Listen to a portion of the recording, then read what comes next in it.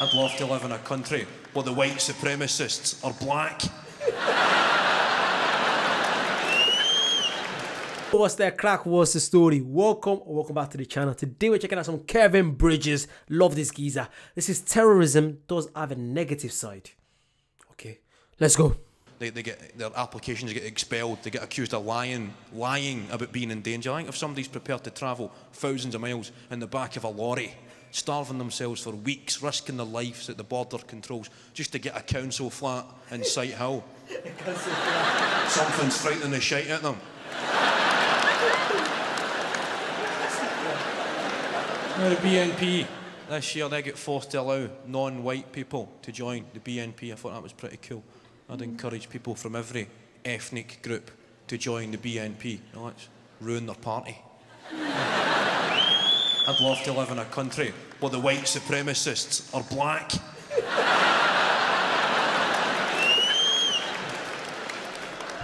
I'm supposed to be racist. How's No way. When the white supremacists are black, oh god. That's Gene, imagine. Imagine, oh god. What a guy. she? Who's this guy? How's he in my team?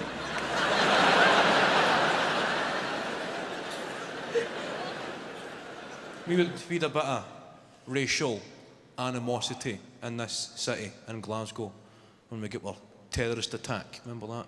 Glasgow airport, we got our own little terrorist attack. Pretty proud of that. Kind of put us on the map.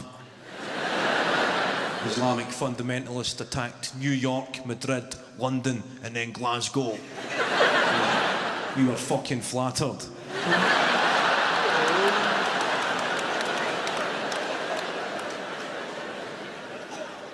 My dad had a tear in his eye. It's a proud day, son. That's us on the telly. Look, I've been there. I've parked there.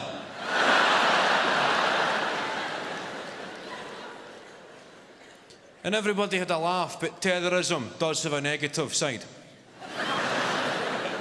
It did create a kind of racial divide. I witnessed this firsthand on a train going down south on this train. Just me sitting here and a middle-aged guy sitting just along a bit. Now, a couple of stops later, a woman of Asian appearance boarded the train and sat beside the middle-aged guy, who immediately stood up and walked away. You ever seen that film Snakes on a Plane? This was Jake's on a train, right? That's funny. Right? Walked away.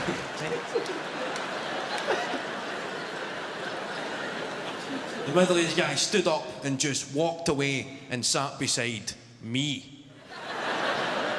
He started to nudge me. Well, that way a scumbag presumes that you're also going to be a scumbag. Nudging me, and he's pointing, and he said, "I don't, I don't fancy sitting beside her, pal. No chance. She'll be one of the, one of the suicide bombers. I'm taking no chances." Sorry. Are you stupid? You're, you're still in the same carriage, you're still in the same train. How stupid can you be? And you know what's mad? I know this is meant to be a comedy stand up, but this kind of stuff happens. I see it happen loads of times. If I'm on the train, on a bus, wherever. You kind of, obviously, it's not this blatant, but you can tell sometimes people feel like, oh, I don't want to see this. I'm like, no one's to blow you up. Relax, mate. Relax. Let me know about your experience if you've ever seen something like this.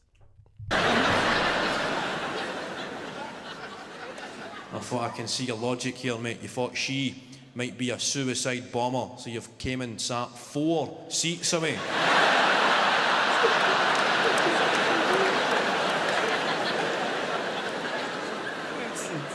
Seriously, underestimating the power of Semtex.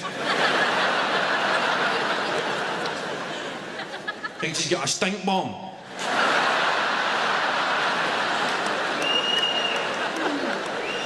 Sorry, speaking of stink bombs, they're disgusting. Remember in secondary school, I'm sure everyone has experienced in secondary school, primary school. There's always that one guy that brings a stink bomb in like every three, four months. And it's this first time I smelled it, like, what the fuck is that? It's disgusting. Oh, it's oh no, it's, no, it's like shite on shite on shite. Let me know if you experience stink bomb. It's just it's nasty. This is the jihad for Allah. Oh, it's fucking bouffing him. Oh.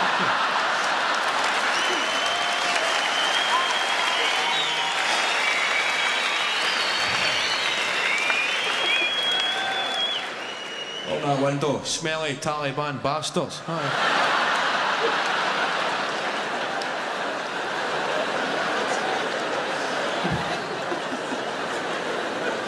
That is disgusting.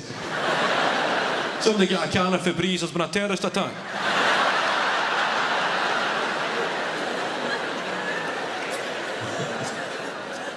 that is absolutely minging. But you're stuck with the guy the whole way, going down south, going to London. The guy said, Are you going to London? And I said, I'm going to London. And he said, I don't like London. Okay. Guys like me and you, mate, we're the foreigners in London.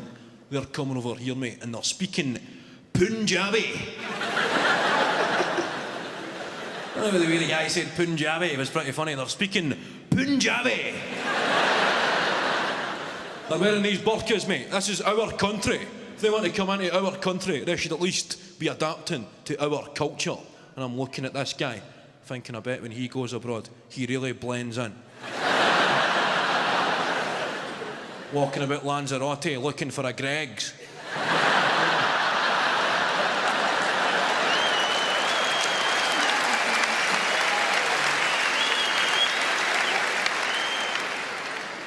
You don't understand my accent? A daily record, you dick.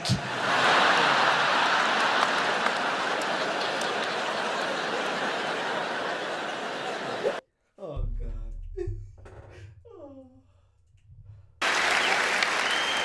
That was absolutely brilliant. I really enjoyed that. This guy's a legend, man. He's so so good. It, like it brings you in, you know, just out of nowhere, just drops it, drops his punchline timing, unbelievable.